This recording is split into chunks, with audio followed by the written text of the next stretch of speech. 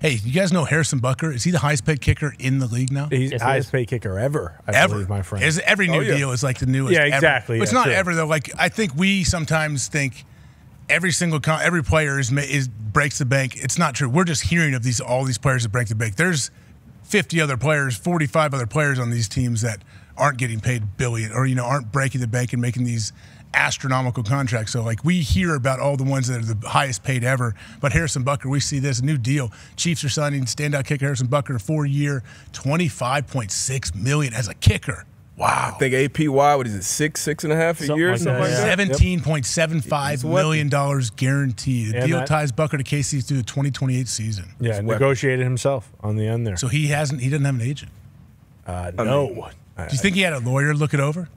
Yeah, for sure. But it's, I mean, it's smart. If you're, You hire. you're Well, kicker, how does like- it work if you to negotiate a contract? You technically are supposed to use an agent that is like certified through the NFLPA, right? Bingo. Mm-hmm. But I know guys that don't. They say, "Hey, I'm just going to hire a lawyer and pay him hourly to do my deal." That Yeah, was, that was Caleb. Caleb. deal. Yeah. Are there Caleb so are there lawyer? There's got to be just a lawyer that's certified through the PA. Then I'm guessing. It- right? It's I don't know. We we got caught You're up in right. it kind of with We Caleb did. Williams, and it, it kind of became some mumbo jumbo. They tried to make it out that he was lying about something, and they weren't being forth forthright about something. But uh, if you're in this position, even with Caleb, you're the top pick. Like you kind of know what the deal Slotted is going to be. You work through some different things. Harrison Butker, hey, I'm, I'm one of the best kickers out here. Obviously, you got Justin Tucker out here, but outside of him. Butker is probably in that conversation. So, hey, this is what the numbers are. This is where we need to be. And obviously, the Chiefs got it done. Another, you know, another thing that they secured going into this season, got their kicker. Obviously, the offense, the defense, everything's in line for them to make another run at the Lambo. D, but does that so? Everything that's going on with the Chief, does that almost worry you that things seem like they're going too well? Like things here, and especially let's say I don't know. Do they have a plan if old Patty Mahomes is going to play in the preseason at all?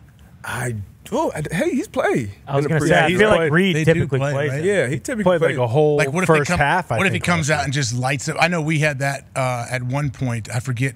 I mean, probably any year that Aaron ever played in the preseason when I was with the Packers, there was maybe it was right after the lockout or right after the Super Bowl year.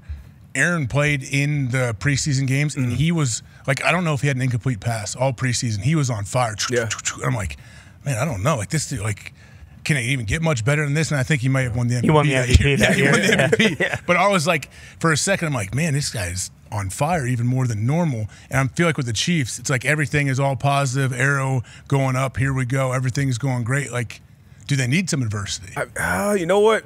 That that that team, that organization, they've dealt with so much off the field. You Andy know, obviously, has, obviously bad. Andy Reid's a Zen mat. He's like a. he, they just figured it? out, you know, obviously there's a bunch of bad shit they've dealt with, but also even like the Taylor Swift thing, like outside, like to be able to deal with that. We always talk about outside, outside noise, distractions. I felt like they handled that great, and, and obviously they went on to make a run and got hot when they needed to get hot. Things weren't going great during the season. That's probably why he wasn't voted as the top player um, in the NFL last season. But obviously they figured out. So I can't doubt this team. It's too many pieces coming back. You got Chris Jones, you got Spags still calling the defense, you got McDuffie, you got all these offensive weapons, and then they go out and get Worthy. I'm hearing Hollywood Brown is tearing up camp as well. So mm-hmm. nah, I'm, I'm not gonna I'm not gonna be a fool and, and, and doubt these guys at all. That's what like the adversity they face is just like during the season because the expectations are so so high. Like I feel like there hasn't been a team since like those old Patriots where it was like, oh, these guys can just coast till December. Like they might be like five and six or whatever, and then they'll turn it on when it matters. Like it was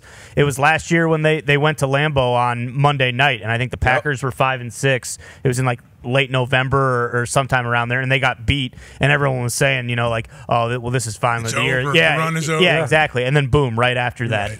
they hit the ground running and and make it. It's like they they are one of those few teams that can actually be like, all right, let's flip the switch right now. Let's turn it on. Now it matters. Like let's go. So like they, you know, the expectation.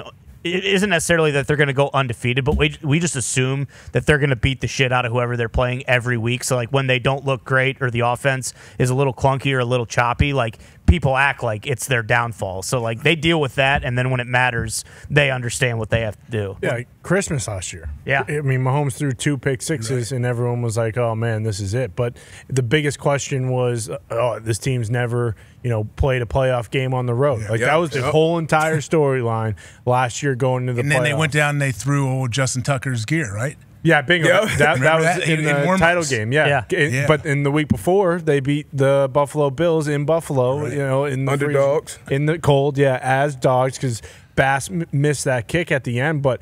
They've answered every question. Like it is now the old Patriots team's like, yep, they're going to be in it at the end. We don't really have. If you're a Chiefs fan, you are officially in. Like, hey, our season doesn't start till Yeah. January now because that is when Is that?